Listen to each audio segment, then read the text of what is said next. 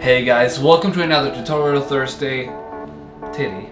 Today we're talking about how to improve your cinematography in post. Let's begin.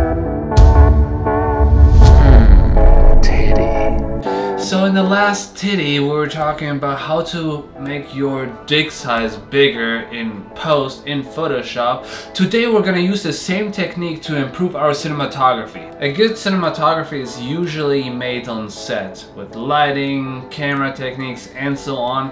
Um, if we didn't do those things for some reason, there's a few things we can do in post inside of Premiere to improve ours to improve our cinematography. For example, let, let, let's jump right in here. In my last short film, I have this one shot here where uh, you know there's this cat sitting on the floor and there's this big white wall and it could be worse but there's this big white spot and I just don't like very much. So there's a few things we can do inside of Premiere to, to, to fix that. As you might remember, last week we used a very simple technique to make a penis appear. Um, we, we created that by the illusion having a shadow and the light.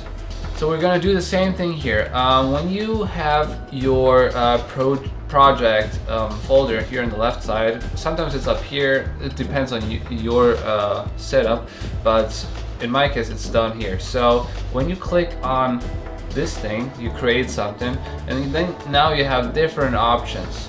And the easiest one what uh, I want to try here today, just use black video.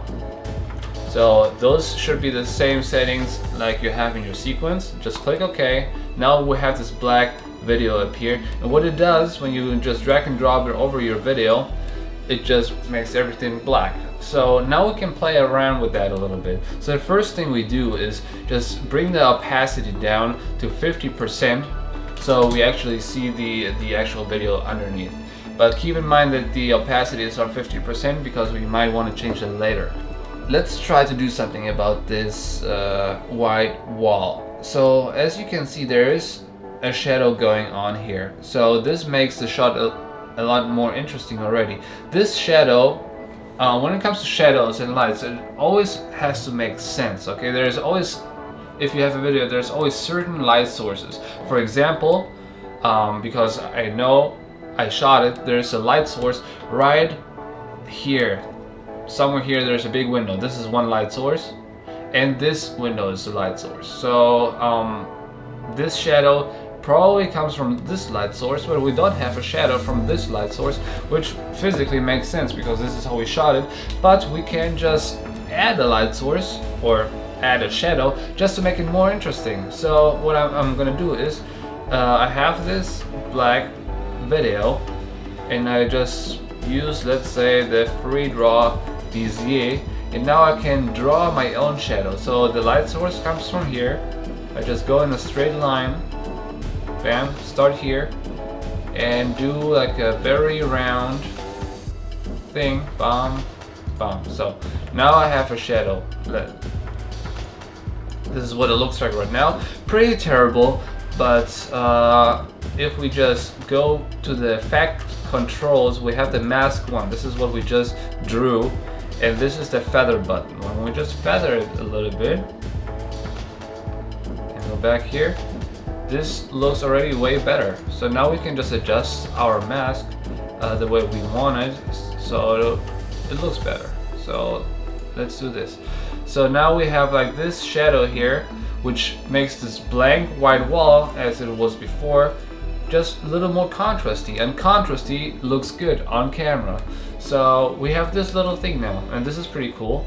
And um, we can just add another one. Let's say on this light here on the left, let's say there was some something blocking from the outside. Let's say a, tree or so. So now we go back to black video and we um, just draw another one. Um, this one uh, disappeared because I'm drawing another mask. And let's say just something funny, blah blah blah doesn't doesn't have to make sense. Um, but okay, we feather that as well.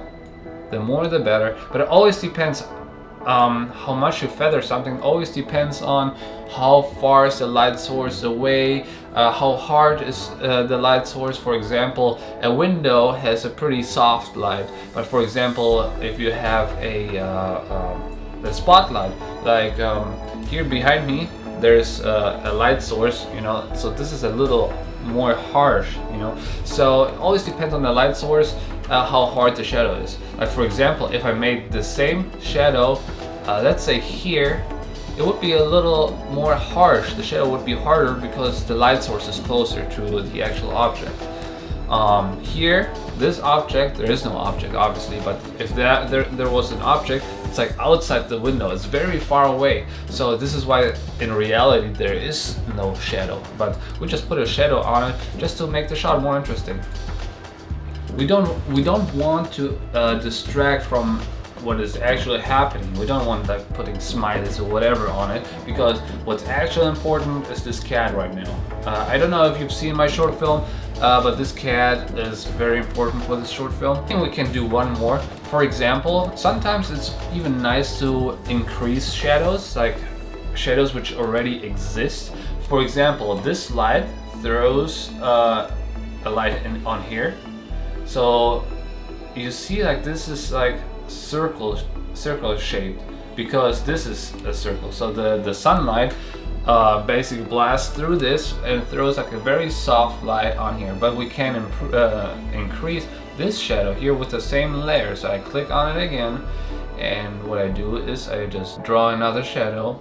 Uh, da, da, da, da, da, da, da. Um, this one has to be like uh, what is it called? Inverted but I don't want to make it too complicated for you so I don't invert the mask I just draw it this way. And again this one has to be very feathered again let's check it before after. Nice. Just for argument's sake let's do one more.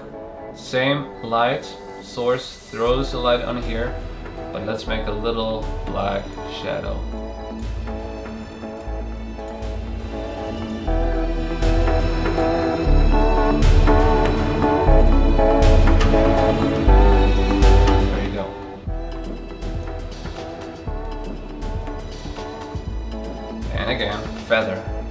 forget to feather because if we don't feather a mask, it's it's gonna look terrible. Uh, let's let's uh, show you an example. Let's unfeather one of those masks. Which one is it? Let's do this one. Unfeather.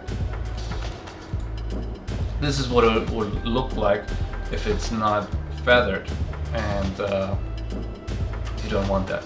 So feather, feather, feather the shit out of it. So it's like almost not there anymore. And then the in the end, this is the difference. But you also can play uh, with the blending modes. So when you click on this thing and increase the opacity back to 100%, remember we uh, decrease the, the opacity. If you go back to 100%, this is what it would look like. Also pretty terrible. But then we can go to the blending modes. Um, for, for shadows, what always uh, works good is like soft light, works works fine. Because when you use blending modes, your layer in the black video uh, fades better in your real environment. So uh, don't just play with the opacity only, also do the blending modes. And soft light, in that case, works best. But play around. It's like always depends. If you play with light sources, it should be like add or lighten or something like that. If it's with shadows, uh, with multiply could work, but it's just a black video, so soft light works well here. And then I go back to the opacity, go down until we almost don't see it anymore. So, this is our before after. I know this is not life-changing stuff here. It's just, in my opinion, it improves the cinematography a little bit because by increasing a few shadows or creating a few shadows, this boring white wall is not boring white anymore. There's more stuff going on. And to do those things on set sometimes takes longer than doing that in post. But keep in mind, there's a very important thing to remember. It's a lot easier with this shot because it's on a tripod. There's nothing moving. So it's easier on that one compared to something when it's like handheld or like a move around shot because then it gets very complicated because then you have to track the entire footage. And this is uh, a topic for another video but this is way more work. So if you have a tripod shot and you just want to improve a few details this is the way to go. And I hope that was clear. If you have any questions please let me know in the comments below. And see you in the next TD tutorial Thursday